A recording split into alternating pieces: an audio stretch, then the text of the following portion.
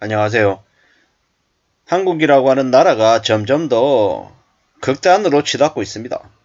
결국에는 한국의 리더인 윤석열 대통령이 과격한 은행을 러시아와 중국을 향해 내쏟으면서 점점 더 그렇게 돼가고 있다라고 보면 맞을 것 같습니다.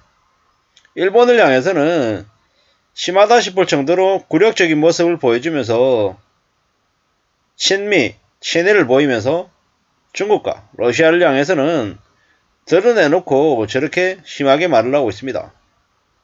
윤석열 대통령이 아무 생각 없이 그냥 찌꺼리는 걸까요? 아닙니다. 절대로 절대로 아무 생각 없이 그냥 한 얘기가 아닐 겁니다. 의도를 가지고 하는 얘기일 거다라는 겁니다.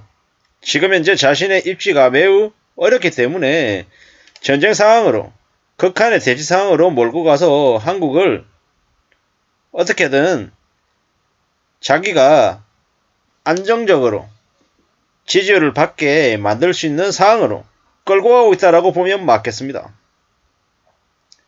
장재원 같은 놈들, 권성동 같은 놈들을 애시당초 주요 직책에 앉힐 때부터 알아봤어야 됐습니다. 고승범 금융원장을 내치고 세포잡 업계 대변인 짓거리를 하고 있던 쓰레기 같은 인간을 금융원장에 앉히고 금융감독 원장에 검사 출신으로 앉힐 때부터 알아봤었어야 됐습니다. 지금 현재 윤석열은 한국의 서민들이 어떻게 사는지 얼마나 힘들고 어렵게 지내는지에 대한 관심 자체는 없습니다. 그저 서울대 나온 엘리트주의에 빠져서 이미 권력을 가졌고 그 가지고, 가지고 있는 권력을 어떤 식으로든 휘두르면서 자기만의 만족을 향해 움직이고 있는 것 같습니다. 주의 사기범 김건희 여사 대려 요즘에는 그녀가 대려 대통령 같고 윤석열은 찌질이 같습니다.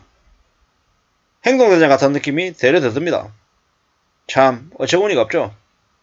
윤석열 덕분에 한국의 물가가 폭등할 것 같아 걱정입니다. 러시아로부터 상당수의 에너지를 수입하는데 그리고 중국으로부터도 각종 자원이나 수입하는 것들이 한둘이 아닌데 중국과 러시아에 저렇게 미연터를 박히면 한국이 어떻게 됩니까? 경제가 망하죠. 경제가 폭망합니다. 얼마 전에 GKL하고 롯데 관광하고 호텔 신라하고 주가가 엉망이 됐습니다. 뭐 대중국 리오퍼닝 뭐 수혜 어쩌고저쩌고 얘기하던 게 대통령이라고 하는 놈의 한마디 말에 다 날아가 버렸습니다. 왜 저러는 걸까요? 왜? 그냥 거침이 없는 거죠. 눈에 보이는 것도 없고. 이런 상태가 언제까지 갈까요? 문재인이라고 하는 이가 워낙 부동산이나 아니면은 국가 재정을 너무 방만하게 움직여서 혹은 팸이나 밑으로 진절머리 나게 국민들을 갈라치기 위해서 좀 바로 잡힌 나라를 만들어 달라고 윤석열을 뽑았던 국민들이 있는데 그들의 기대를 그냥 다 무너뜨려 버렸죠. 씁쓸합니다. 씁쓸합니다. 이래저래 보수라고 하는 인간들 가짜죠 가짜. 그들에게 표는 절대로 줘서는 안 되나 봅니다. 앞으로 더 엄청난 일이 벌어질 수 있을 것 같습니다. 이상한 쓰레기 같은 인간들, 국가를, 나라를 계엄령 아래 놓이게 만들려고 했던 놈조차 뭐 기웃해가지고 기웃기웃거리고 있고 이상한 짓거리 했던 놈들 전부 다 지금 들어와가지고 지가 잘했다라고 떠들어대고 있는 게 지금입니다. 원달러 한 유로 원달러 한 유로대로 지금 1328원 뭐 1350원 금방 올라갈 수 있죠. 1400원도 가능하고 1500원도 가능합니다. 지금은 이미 나라가 개판이 돼버렸습니다. 엉망이죠. 엉망.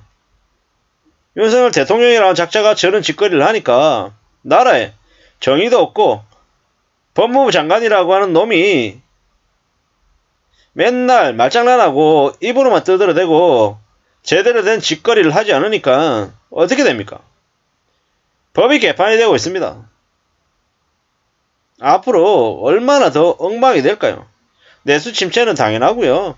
물가는 폭등할 것이고 삼성전자를 위시한 각종 대한민국의 기업들이 아마 손실이 엄청나서 많이 어려워질 것 같습니다.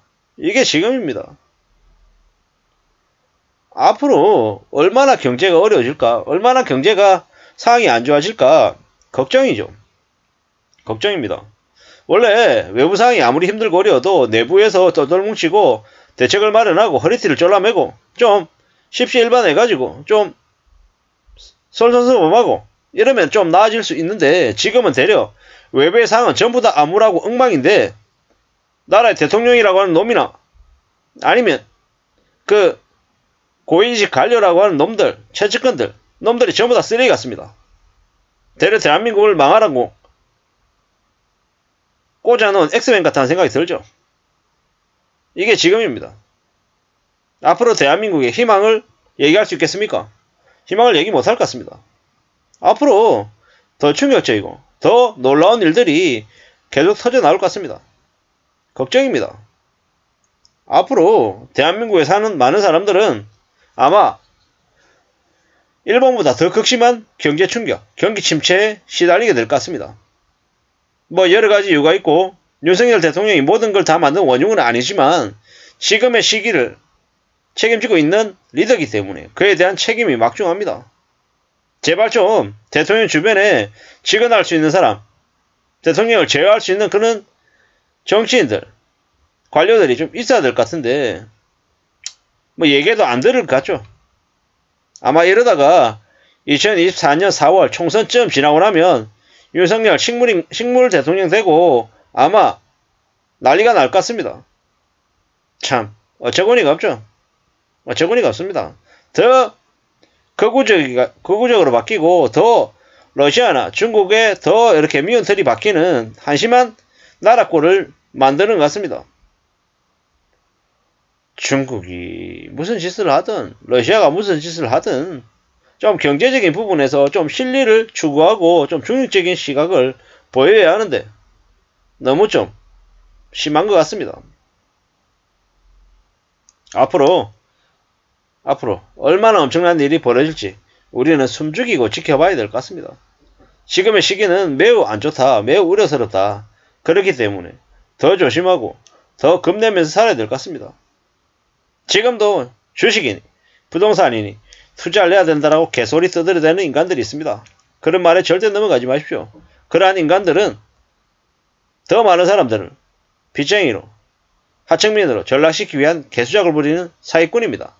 대통령뿐만 아니라 그런 사기꾼들도 잡아쳐놔야 되는 시대가 이미 와버렸다라는 생각을 해봅니다. 감사합니다.